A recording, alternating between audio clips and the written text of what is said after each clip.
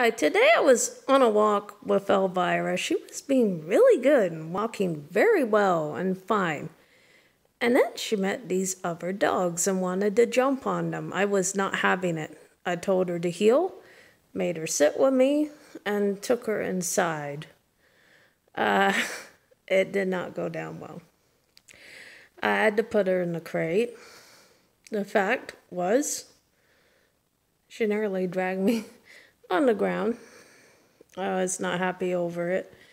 And then I told her, no, I didn't feel comfortable with the dogs visiting her. So I said, no, thank you. The dog does not want to socialize today. I think the dog is excited. So I had to put the dog in the crate.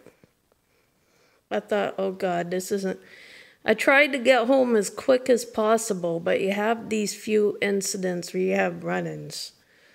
So I put Elvira in her crate and she calmed down now. How many of you have had an incident where your dog has jumped on another dog?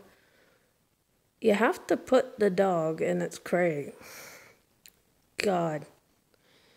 Talk to you later.